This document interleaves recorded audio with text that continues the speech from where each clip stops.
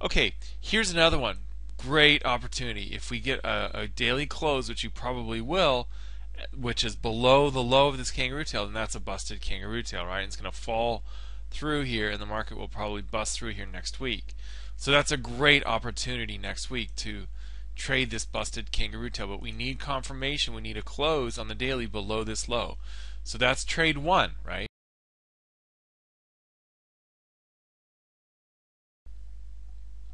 Hey there, it's Walter here from FX Jake, and I want to talk about a naked forex setup. A lot of people were watching this setup. This was the pound US dollar, and I've had some questions about this. What I think I um, should do here is talk about why, uh, to me, this was not a buy, and in fact, I think it's going to be a pretty good sell. Um, although, eh, it could have the close on the daily candle here could have been a little bit better. But let, us just talk about this. First of all, there's no doubt that it's a nice support and resistance area where this little tiny candle printed. Uh, we see that we we topped out here. We found some resistance, and we certainly did have some support as well, where you can find oh I don't know, there's about three candles where it just couldn't break through here, back here, and then it finally did break through even when it came up back up and broke through look what happened. It closed right on that level this day right here. That's uh, May sorry that's June 5th where the market came and closed right there. And then the next day of course it came back up. Now with the big fall it came down and it, it printed a little kangaroo tail there. Now a lot of people will trade um, what they call Pinocchio bars um, and that's from um, what's his name, Martin Pring. It's in Martin Pring's book, and a lot of people trade those. I trade kangaroo tails, and they're a little bit different from Pinocchio bars because what happens with um, the Pinocchio bars is that people tend to just look for any old candle that you know gives you the look of a Pinocchio bar. And what I do with kangaroo tails is I actually have specific rules that I follow. So, for for example, there are some that just wouldn't qualify, um, like this one right here, just wouldn't qualify for me as a sell si- signal just because of where it's at, and it's in a choppy market.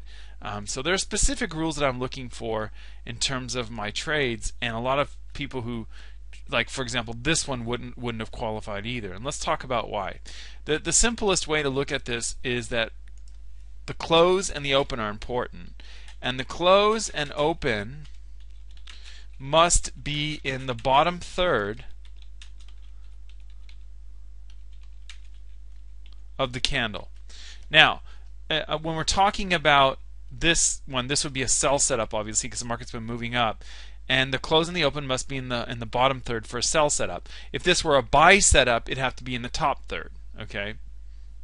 So that's the first rule.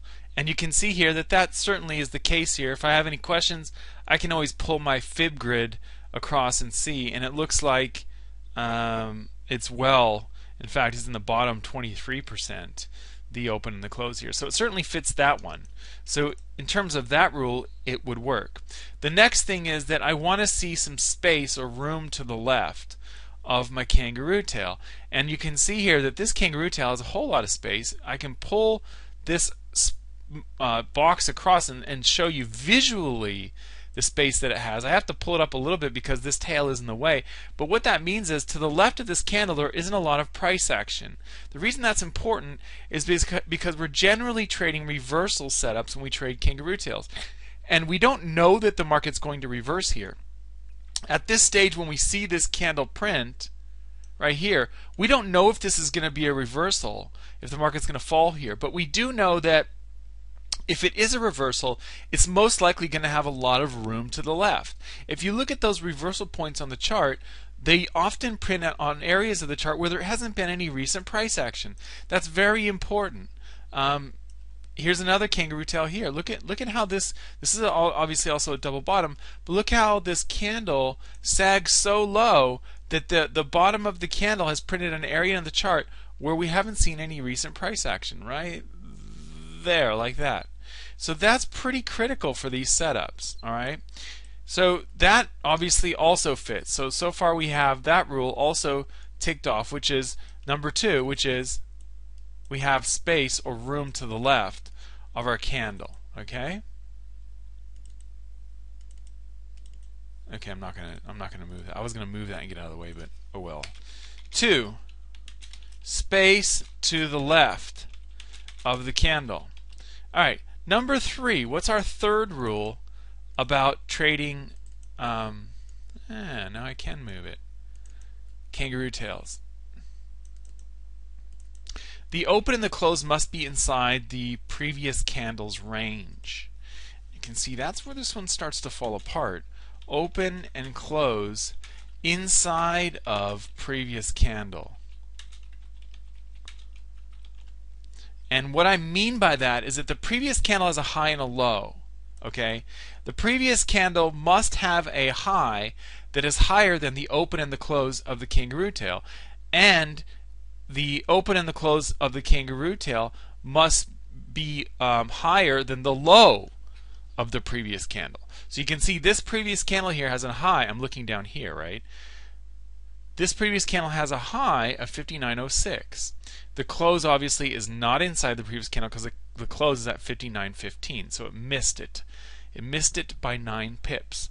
So that didn't work out here. That's the third rule. And the fourth rule is that the next candle, the very next candle, should trigger the trade.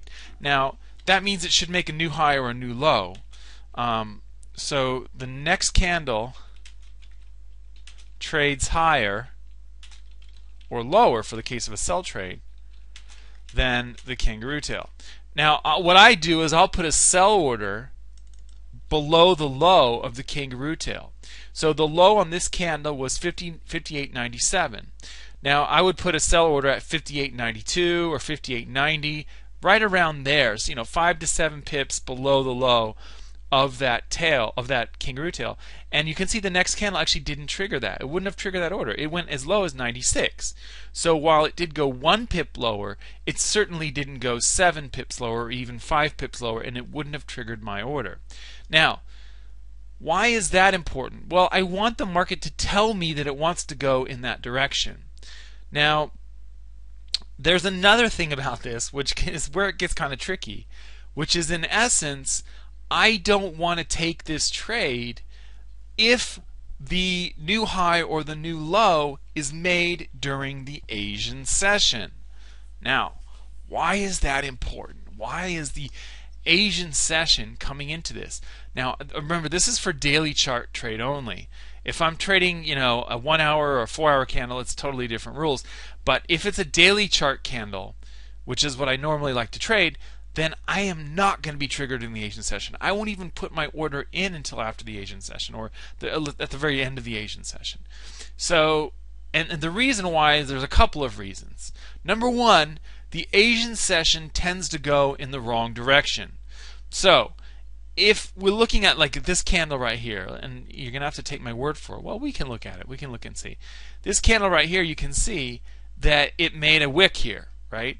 Now, I don't know if this is true, but I believe that this candle, which is the February 8th, 2012, I believe that this wick would have been made during the Asian session. You don't believe me? I don't know the answer to this, but we're going to go ahead and risk it and see what the answer is. So let's go to the one hour chart and look at February 8th, 2012. See if we can get that, bring that one up here. There it is. Okay, so uh, oh, if I put the um, period separators, you'll see where the new day starts here. So obviously the new day on this candle that I've highlighted uh, started right here where this dashed line is. Let's zoom in so we can see this a little bit better. The new day, I had it on right here um, where that red line was. The new day started here. So the previous candle closed on this candle, and then the next day starts here. So the Asian session starts out the day, and you can see this is exactly what happened. The market went up for the first eight hours or so. It sort of peaked right here at the beginning of the European trading session, and then it fell. And then when New York came in, it went up a little bit, a little bit of fake out, and then it fell for the rest of the day. So you can see what happened here was exactly what I was talking about, which uh, is that the Asian session will go in one direction, and usually Europe or New York or both will go in another direction. So here we have an example of the market going up 33 pips uh, during the Asian session. Of course, the beginning of the New York session, we'll talk more about that, or the London session. We'll talk more about that in a moment. And then it goes down for 113 pips for the rest of the day. So this is very typical of what happens during a uh, typical Asian or uh, typical daily candle. That the Asian session will go in the quote wrong direction. That is why I won't place my order here because my guess is that this candle right here, the the wick and the where it went one pip lower than the, the kangaroo tail, that probably happened during the Asian session. So one, I want to definitely clear it by at least five pips, and two, I don't want it to happen during the Asian session because that's usually when it's messing around going the wrong direction. Now let's talk about this candle right here. So there are a couple of things I don't like about it. One, the candle before it was huge and very bearish. It closed near the low and it didn't show any slowing down. What I mean by slowing down is that see how when the market moved up here, all of these candles started printing more wicks, wick, wick, wick, wick, wick. See how these wicks started to show up? That's usually a sign of exhaustion and that the market wants to fall. Uh, we don't have any real wicks here. The only wick we got at this stage was the kangaroo tail, and even that wasn't that impressive, um, especially considering the previous two candles. Previous two candles were pretty big. This one was 159 pips, and this one was 230 pips. And our measly little kangaroo tail here, although it, it fits all the rules, it's only 102 pips. So, you know, it's got an open and the close inside the previous candle's range. It's got an open and the close in the top third. It's on a nice support and resistance level. Remember, we had support here, resistance there. But the fact is, there's still some downward pressure here. Now, let's take a look and see if the market actually triggered the uh, a buy above this. Because remember, the buy would have been right about here. Let me let me draw it on the chart. Would have been a few pips above the high. It would have been right around there. Whoops. Right around there. Let's look at the one hour chart and see where it would have been triggered. All right.